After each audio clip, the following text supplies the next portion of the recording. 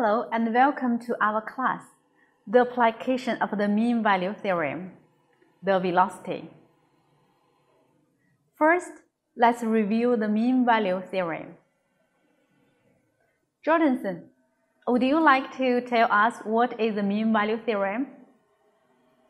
The mean value theorem is if f is continuous on a closed interval ab and differentiable on its interior ab, then there is at least one number c in ab where f of b minus f of a over b minus a equals f prime of c, or equivalently, where f of b minus f of a equals f prime of c times b minus a.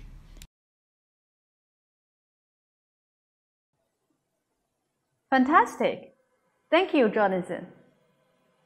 In geometric language, the mean value theorem is easy to state and understand.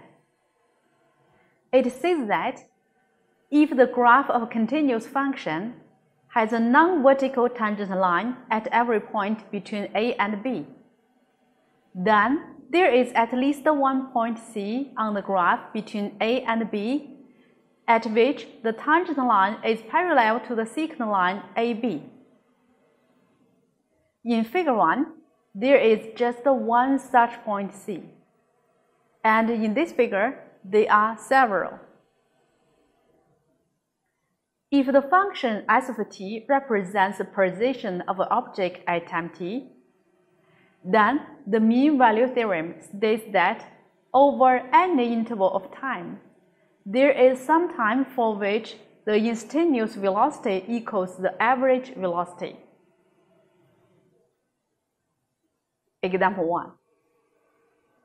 John traveled 112 miles in 2 hours and claimed that he never exceeded 55 miles per hour. Now, could you use the mean value theorem to disprove John's claim? Now let's do it together. Let f of t be the distance traveled in time t. We see that f of t is satisfied with the mean value theorem on the interval 0 to 2.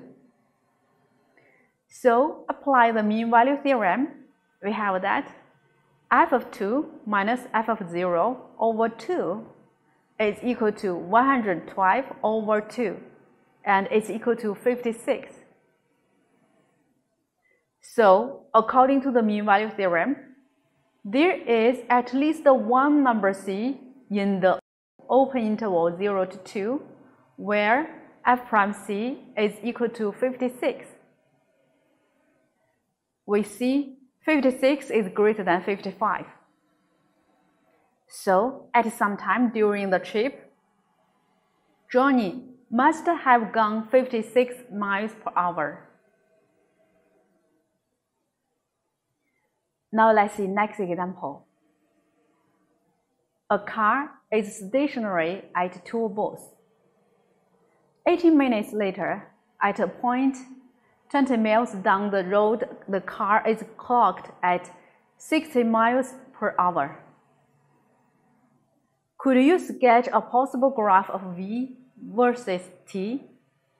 And could you sketch a possible graph of the distance traveled S against T? And use the mean value theorem to show that the car must have exceeded that 60 mile per hour speed limit at some time after leaving the toll booth. But before the car was clocked at 60 miles per hour. First, we draw the possible graph of the function v and s, like those. Now please think about the question. Who would like to answer that? Jack? Would you like to show that the car must have exceeded the speed limit? Yes, s is differentiable between s of 0 equals 0 and s 18 equals 20. so we can apply the mean value theorem. There exists a c in the interval 0, 18 such that uh, v of c equals s prime of c equals 20 over 18 times 60 miles per hour. So the car must have exceeded the 60 mile per hour speed limit at some time. From the graph, we also can find that the car has exceeded 6 miles per hour. Good job, Jack. Thank you. So we say the car must have exceeded the 60 mile per hour speed limit.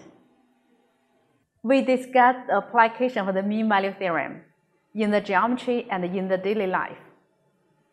Imagine that if the function in the theorem gives your car's odometer reading as a function of time, then the slope of the secant line from A to B gives you average speed during that interval of time. Because dividing the distance traveled f of b minus f of a by the elapsed time b minus a. So gives you the average speed. The point c f of c guaranteed by the mean value theorem is a point where your instantaneous speed given by the derivative f prime c equals your average speed. That's the mean value theorem says. We discussed the application of the mean value theorem in the geometry and in the daily life. Hope you enjoy it. That's all for this section. I'm looking forward to seeing you in the next topic.